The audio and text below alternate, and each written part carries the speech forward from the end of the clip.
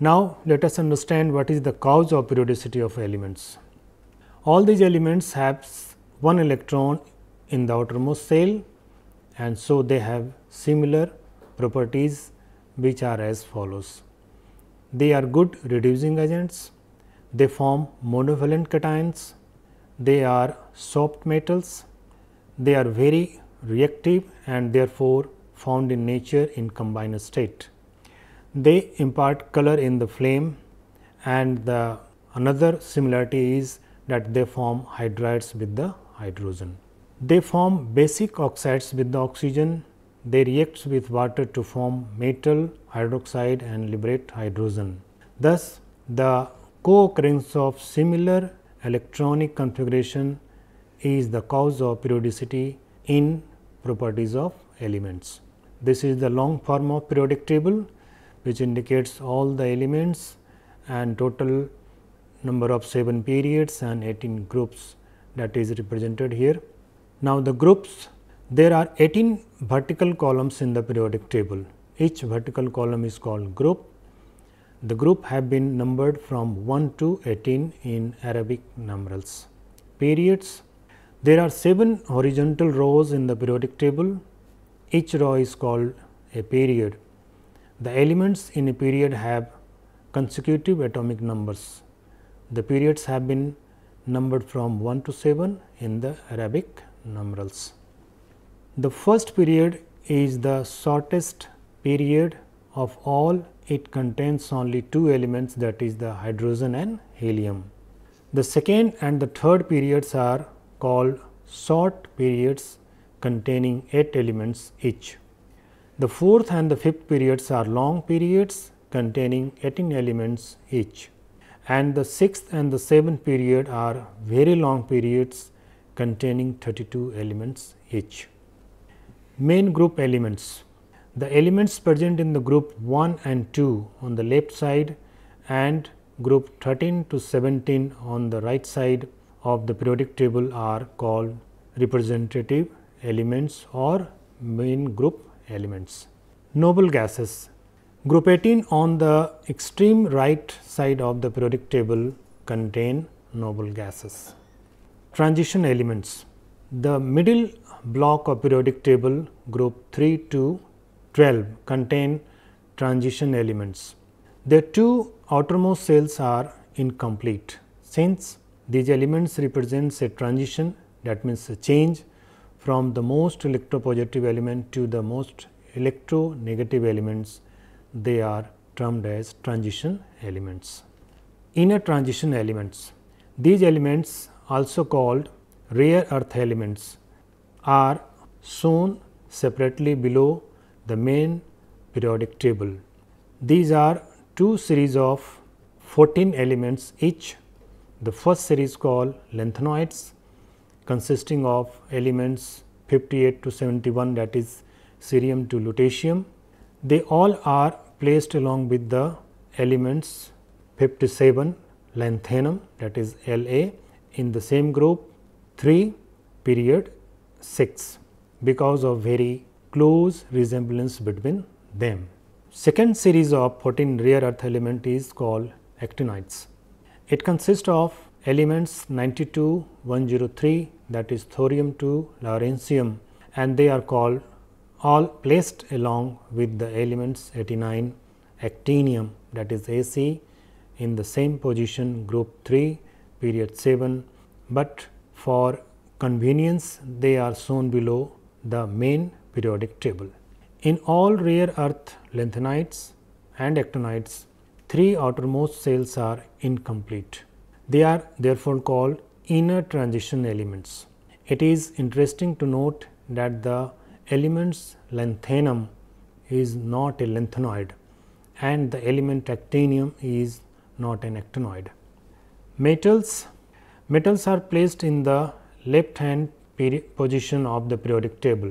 The strong metallic elements alkali metals like lithium, sodium, potassium, rubidium, cesium, francium and alkaline earth metals that is beryllium, magnesium, calcium, strontium, barium, radium occupy group 1 and 2 respectively. Non-metals Non-metals occupy the right hand position of the periodic table.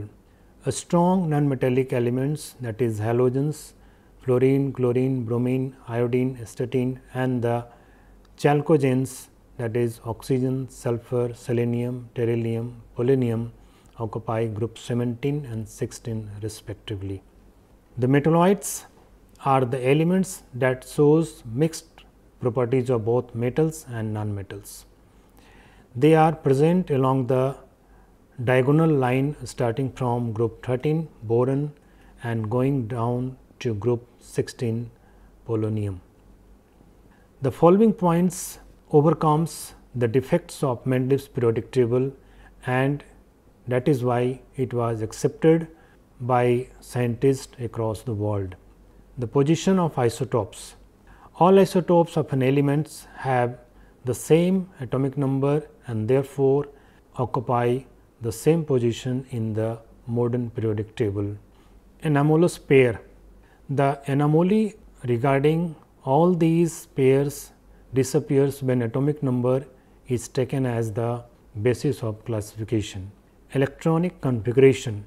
This classification is according to the electronic configuration of elements that is the elements having a certain pattern of electronic configuration are placed in the same group and of this periodic table. Separation of metals and non-metals. The position of metals, non-metals and metalloids are clearly established in the modern periodic table.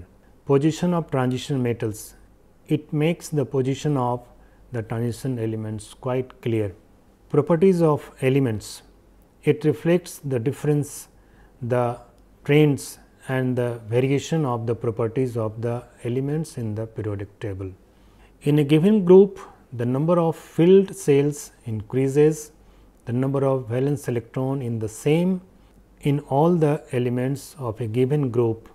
However, these valence electrons, but they are present in the higher cells which are farther away from the nucleus. In view of this decrease the force of attraction between the outermost cell and the nucleus as we move forward in a group. In a given period, the nuclear charge and the number of valence electron in a particular cell increases from left to right. This increases the force of attraction between the valence electron and the nucleus as we move across a period from left to right. Atomic size is the distance between the center of nucleus and the outermost cell of an isolated atom. It is also known as atomic radius and it is measured in picometer. Atomic size is a very important property of an atom because it relates to many other properties. Variation of atomic size in periodic table. The size of atom decreases from left to right in periods but increases from top to bottom in a group. This uh, diagrams, this table shows the variation of uh, atomic size from left to right and we can say here the size of an elements in a particular period decreases from left to right. Reason in a period the atomic number and therefore, the positive charge of the nucleus increases gradually as a result the electrons are attracted more strongly and they come closer to the nucleus. This decreases the atomic size in a period from left to right. In a group as one goes down a new cell is added to the atom which is farther away from the nucleus. Hence, electrons move away from the nucleus. This increase the atomic size in a group from top to bottom. This table shows the regular increase of atomic size of elements in the first group from lithium to the first group contains all these elements lithium to cesium. So, we can say here that as we move from lithium to cesium atomic size increasing reason is there is a regular increase in number of cells. Variation of metallic character in a group. Metallic character increases from top to bottom in a group as tendency to lose electrons increases. This increase the electropositive character and metallic nature. The variation can hist can be seen in the group 14 given below. This is the table indicating the different elements and their metallic and non-metallic and metalloids character. Variation of metallic character in a periods. Metallic character decreases in a period from left to right. It is because the ionization energy increases in a period and this decreases the electropositive character and metallic nature. The variation of metallic character in the elements of third period is shown below. This is the representation of decrease in metallic character. This table indicates that the how atomic number, atomic size, metallic and non-metallic character increases or decreases in groups or periods. Dear learners, uh, let us now recapitulate what we have learned in this chapter. The first classification of element was as metals and non-metals. After the discovery of atomic mass, old term atomic weight, it was thought to be the fundamental property of elements and attempts were made to correlate it to their other properties. John Dobereiner grouped elements into triads. The atomic mass and the properties of middle elements were mean of the other two.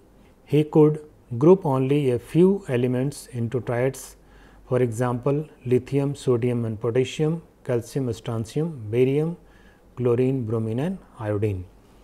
Newlands tried to see the periodicity of properties and stated his law as octave as whenever elements are arranged in the increasing order of their atomic weights, every eighth element has properties similar to the first.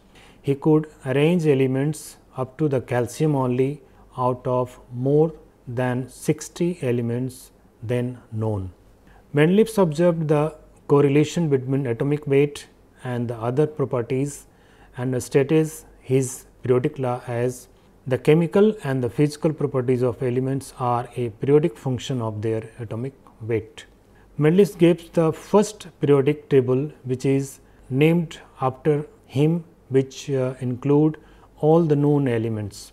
It consists of 7 horizontal rows called periods and the numbered them from 1 to 7. It has 8 vertical columns called group and numbered them from 1 to 8.